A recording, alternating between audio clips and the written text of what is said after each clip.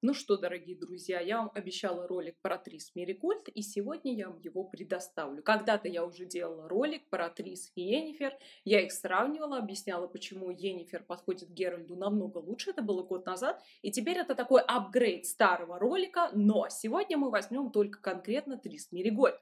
И не просто ее весовую категорию, цвет волос и все прочее. Конечно, мы затронем ее прекрасные вот эти рыжие волосы, просто потрясающее ее тело, сложение, вообще замечательно вот эта фигурочка. Но самое главное, что меня здесь интересует и что я вам хочу объяснить и что я вам хочу показать, это то, что Трис Меригольд является на самом деле обычной, стандартной, кухонной, какой хотите называйте, гостиной, комнатной, жертвой в первую очередь, а потом уже является доброй и все в этом духе. Почему я в этом так уверена? Потому что я сама жила как жертва все свои 23 года. И только последние 3 года, потому что мне 26 лет, я живу абсолютно нормальной, здоровой, полноценной жизнью. Я прошла психотерапию, и все с моей головой полностью хорошо. Но давайте вернемся не ко мне, а актрис Милли Гольд. Ролик будет записан одним дублем. Я терпеть не могу, когда ролики режут вот в таком формате. Мне это не нравится. Поэтому я буду говорить 10-15 минут. Будут какие-то казусы. Ну, что поделать, это живая запись. И я давно ничего не снимала на камеру. Видите, я даже э, приобщилась, так сказать, к культуре. Выгляжу как нормальный, здоровый человек. Ну вот.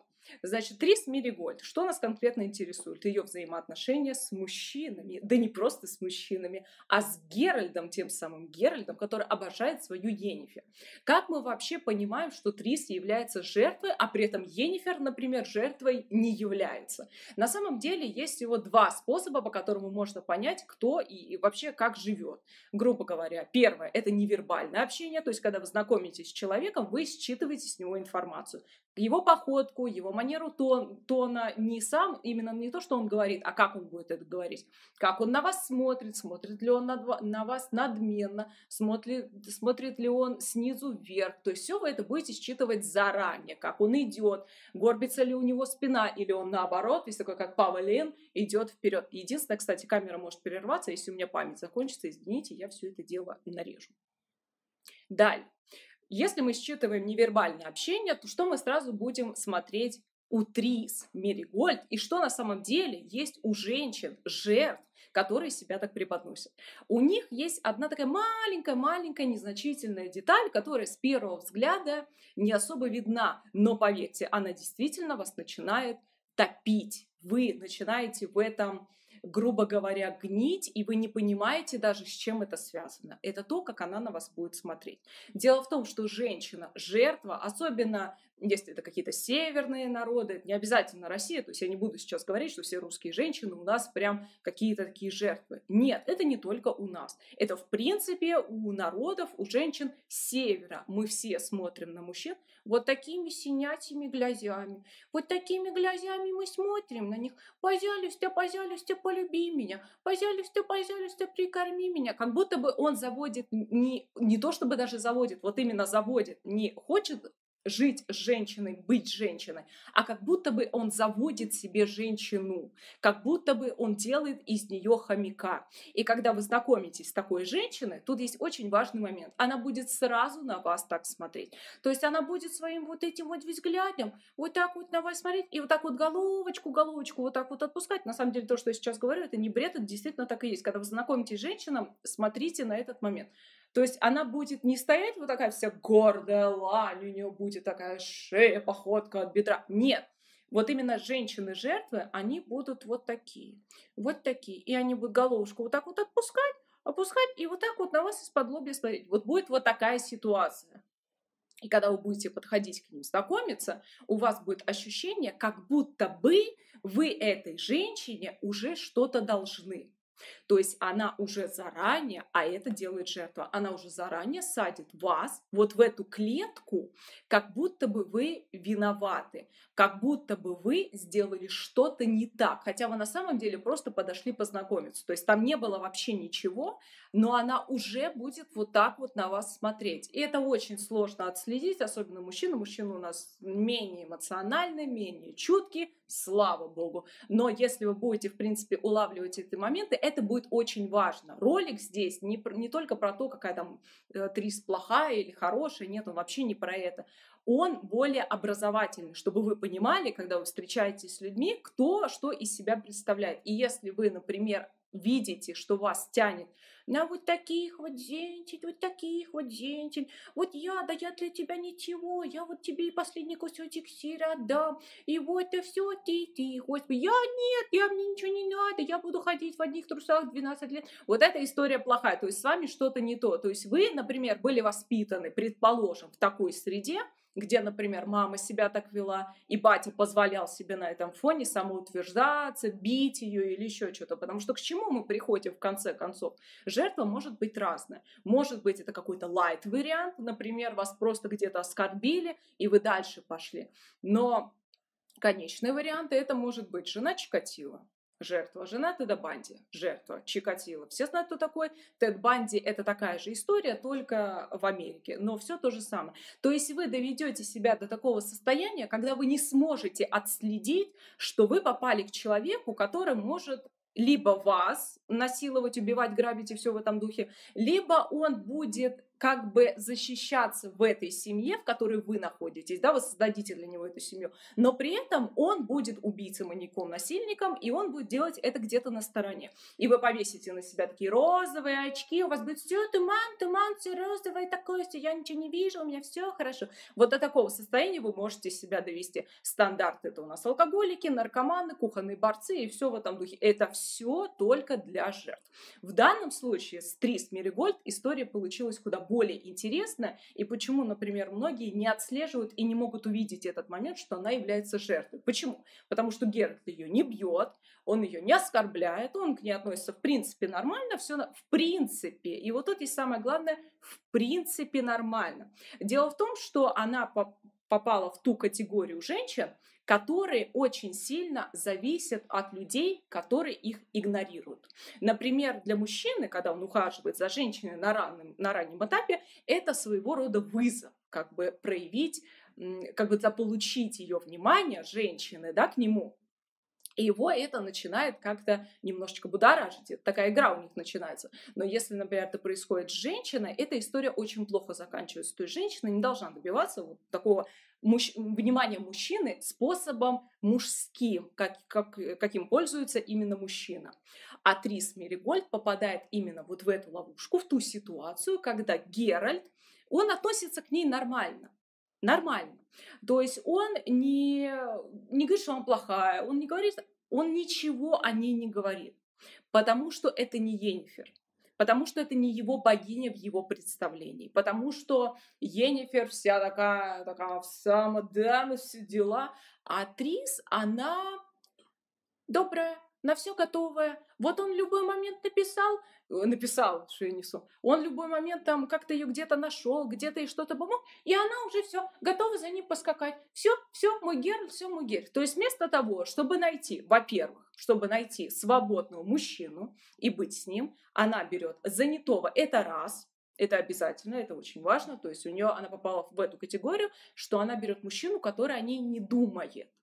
И второе, она берет мужчину, который игнорирует ее чувства, и на этой почве капкан захлопывается, и она попадает в эту ловушку. То есть поэтому очень тяжело отследить, что Трис является именно жертвой, потому что как таковых физических каких-то проявлений в виде синяков, побоев, скандалов. То есть они же даже не ругались, если вы заметите, то Трис Меригольд с Геральтом никогда не ругалась, в отличие от Йеннифер, когда у них там была бурная страсть, они прям строили из себя такую вот мексиканскую, итальянскую семью. Нет, в случае с Трис это было все ровно-ровно спокойно. Но дело в том, что на этой как раз-таки почве вот этого игнорирования ее чувств, то есть он делал так, чтобы он и не был виноватым, и при этом он ничего не сделал. То есть ничего он для нее как такового не сделал. Если вы вспомните книжные варианты, если вы вспомните игровые варианты, они пересекались с Трис, когда не было Енифер. Как только появлялась Енифер, любовь всей его жизни, он благополучно уходил к ней. Вопрос к тому, что там по Джину это было, не по Джину, мы сейчас вообще не об этом. Сейчас речь идет о Трис и Геральде. То есть женщина, которая прекрасно видит, а она прекрасно видела, что Геральт любит другую женщину, ему не нужна Трис, то есть он не бегает за ней так же, как за Енифер, он, она что делает? Что она делает? Она, естественно, бежит к нему навстречу. То есть это делает жертва.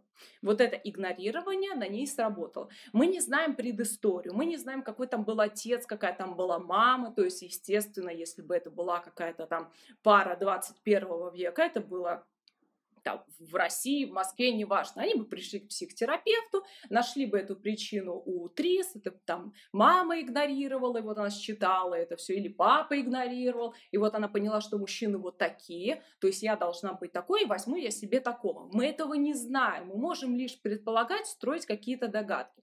Но на том, что мы видим, мы можем делать огромный на самом деле анализ, потому что Сапковский, вот это тоже очень удивительно, как мужчины не они не могут объяснить то, что происходит, но как они это тонко на самом деле его считывают, и как бессознательное наше отлично работает, потому что Сапковский описал вот эту жертву в виде Трис Меригольд просто идеально, просто идеально. Причем он взял очень интересный аспект. Не всегда жертва это какая-то такая страшная, кривая, косая э, девушка. Очень часто, наоборот, девушки, которые, ну, в принципе, не очень, они о себе очень высокого мнения. То есть есть такая история, ну, действительно.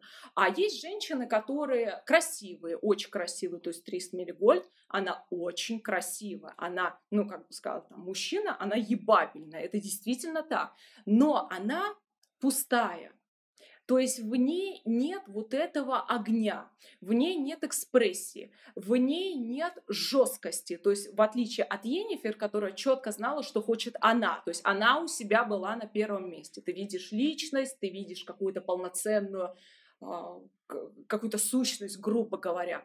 То есть Трис, ты сразу видишь, что она будет за тобой, она пойдет за тобой, она будет делать все, что ты скажешь, она будет сидеть там, вот так, вот так вот она будет. Это все будет Трис Меригольд. Вот в этом и большая проблема. И мужчины, которые ну, скажем так, э, у нас это принято говорить, абьюзеры и все в этом духе. Да, они действительно находят себе женщину, которая не бы, не кукарека, но вот так будет сидеть, такая, да, да, мой господин, да. Я сама, например, за патриархальную систему, но я никогда не говорила, что я за тиранию, то есть я против категорически тирании. А у Трис у нее получалась такая история, что она свои интересы всегда ставила на второй план, а Геральда приоритет она ставила всегда на первый. И э, и это делает только жертва. То есть женщина, которая знает себе цену, которая с нормальной, адекватной, здоровой головой, она не будет этого делать. Но это еще не все. Что в принципе еще делает жертва, почему мы это не любим? Почему, например, женщины вот очень сильно не любят вот этих женщин-жертв, если она сама не является женщиной-жертвой.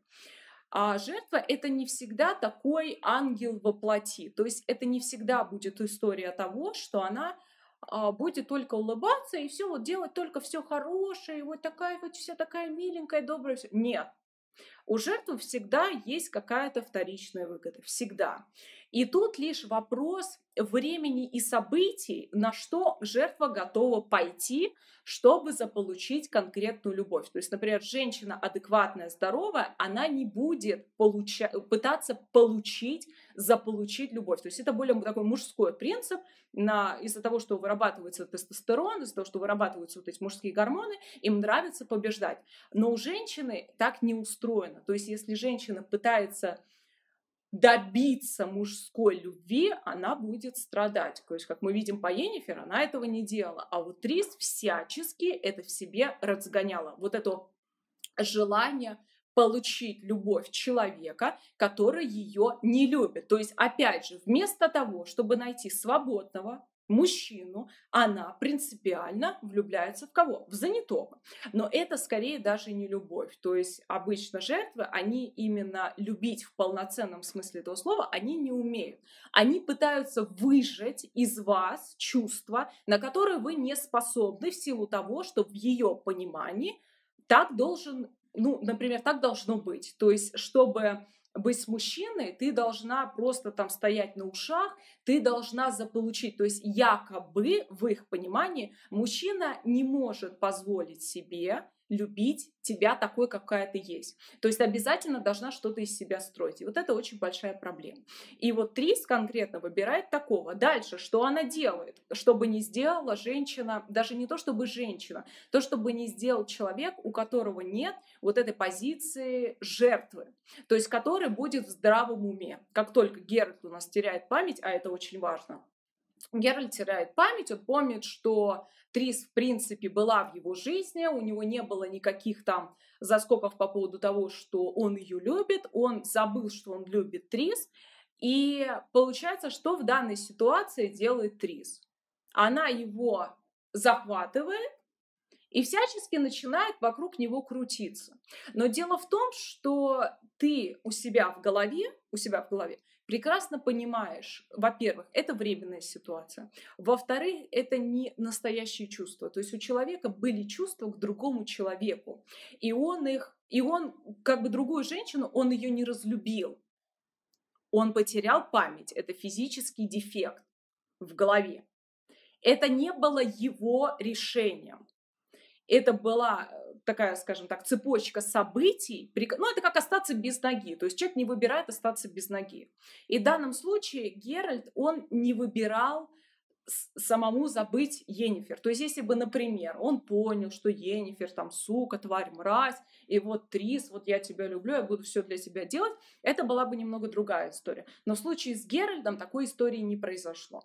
И что делает Трис? Вместо того, чтобы просто уйти, понять, что, ну что я сейчас буду сюда лезть, это выглядит, ну просто это детский сад, это действительно детский сад. Но нет, женщина, которая действительно скажем так, находится вот в этом, в жертвенном состоянии и в состоянии какого-то отчаяния, состояние того, что ну никто не может ее полюбить, вот надо вот чтобы он, она будет брать вот этот объект, с которым она хочет работать, скажем так, и пытаться из него что-то выжимать. И вот у нее получилось быть с Геральдом только в том случае, когда у него случился физический дефект. То есть, опять же, давайте посмотрим на эту ситуацию по-другому. Понравилось бы вам, если бы ваша супруга стала бы с вами жить и вышла бы за вас замуж только в том случае, если бы она потеряла память. Никто в здравом уме никогда не захочет себе такого. Никогда. То есть нормальный человек просто, ну, ну, позаботится об этом, но он не будет туда лезть. Все. Опять же, в нашем случае вернулась память Геральду. И что он сделал? В первом же случае он бросил Трис и все, и побежал к своей Нефер. Все. Все. То есть вот это женское унижение, просто человеческое, не то чтобы даже женское, это просто унижение как человека. Тебя растоптали, тебя топтали годами, годами в эту грязь. Как только появля... появлялась Енифер, он бросал все, бежал к своей Енифер. С первого раза она не поняла, второй раз она не поняла, в третьем ты уже думаешь, господи, ну когда ты уже поймешь, ну когда ты уже поймешь, что до тебя никому дела нет. Нет, жертва будет постоянно, постоянно, постоянно, постоянно, постоянно наступать на одни и те же грабли. И что мы видим в третьей игре, когда они встречаются в самом начале, она вот так сидит, на него смотрит, ну Геральт. И она все еще, самое интересное, она все еще надеется на то, что Геральт все равно к ней вернется. И вот она на него так смотрит, и вот так она на него смотрит. Ну, Геральт, ну, пожалуйста, ну, приюти собачку, ну, приюти собачку, ну, пожалуйста, твоя собачка, приюти меня. И вот так вот происходит всю игру. То есть, когда она начинает вот эти всякие, это бы не то, что даже манипуляции какого-то там супер уровня это ну, какой-то детский сад. То есть для нормального здорового человека это просто детский сад. Так не будет вести себя человек априори. То есть когда они идут на праздник, на пиршество, она якобы напивается, Геральт, она уже не знает, как выжить из него эту любовь. Ну не знает она, как это сделать. Она пытается все, уже не хочет ничего мне снимать, не знаю я, что там за фигня, уже все порезала, урезала, не знаю. В общем, что делать с тем, как только вы поняли, что все, я проверяю, звук, да, звук записывается. Что делать вообще с тем, когда вы поняли, что у вас начинается жертвенное поведение? Вас бьют, ругают там и все в этом духе. Неважно, что это, просто вот что-то, что вам не нравится. Первое, что вы делаете, это, во-первых, уходите от этого человека. И это, в принципе, самое, самое ужасное, самое жесткое, как я могу от него уйти, я его люблю, он вообще святой, он там Господь Бог и все в этом духе. И второе, вы сразу записываетесь на псих, к психотерапевту или к психологу. Например, обычно женщины, которые не могут уйти, они сначала записываются да, к психотерапевту, к психологу, семейному психологу, тут в зависимости уже от того, а, какая ситуация, чуть-чуть буквально понижьте, какая ситуация, то есть, возможно, вам нужны, например, какие-то там антидепрессанты, то есть вы идете к психотерапевту, к психиатру конкретно, или вам нужно просто, ну, вам надо поговорить, то есть вы идете к обычному психологу, тут уже зависит от вашей ситуации, но в любом случае есть два самых главных фактора. Первый, вы уходите, собираете чемодан, неважно, муж это ваш, неважно, кто это, вообще не имеет никакого значения. И второе, вы записываетесь к специалисту. То есть решить этот вопрос самостоятельно, ну, грубо говоря, невозможно, потому что вы не можете отследить конкретные действия, вы не можете отследить конкретно ваше поведение, потому что если бы вы могли это сделать, вы бы уже это сделали, и вы бы не попали в ситуацию, в которой вы находитесь. Если, например, это мальчик, мальчик может быть тоже жертвой, такое бывает. Ему только психотерапия. Сам никогда в жизни вообще никак мужчина с этим не разберется. Он идет конкретно к психологу, к психотерапевту, работает с этим и этим занимается. По-другому никак. То есть вопрос того, что вы можете решить это сами, это невозможно. Невозможно. Все, вы своими действиями привели себя из пункта А именно в этот пункт, не в какой-то другой, в нормальный, адекватный. Вы привели себя только сюда. Поэтому, если вы, в принципе, сталкиваетесь с ситуацией неуважения, будь это родители, будь это э, любимые люди, еще кто-то, неважно, кто это, самое главное понять два простых правила. Это первое, ситуация, в которой вы находитесь, больше для вас невыносима. И второе, вы ищете выход из этой ситуации. Все, ну, искать э, волшебные какие-то бобы, их не существует. Вы не сможете этого сделать. Поэтому на примере Трис Меригольд я вам разобрала один из аспектов вот этой жертвы. В данном случае она была повязана на игнорировании, то есть не на физическом каком-то там побитии и прочем, а вот Короче, все, все режется, просто, ну, какой-то ебаный пиздец, меня уже заебал. В общем, друзья мои, дорогие мои, я с вами разобрала сегодня Трис Меригольд, конкретно ее аспект с э, Геральдом, и то, почему именно она жертва и как она себя при этом ведет. Поэтому, если вам нравятся такие ролики, обязательно подписывайтесь, обязательно оставляйте свои комментарии и до новых встреч!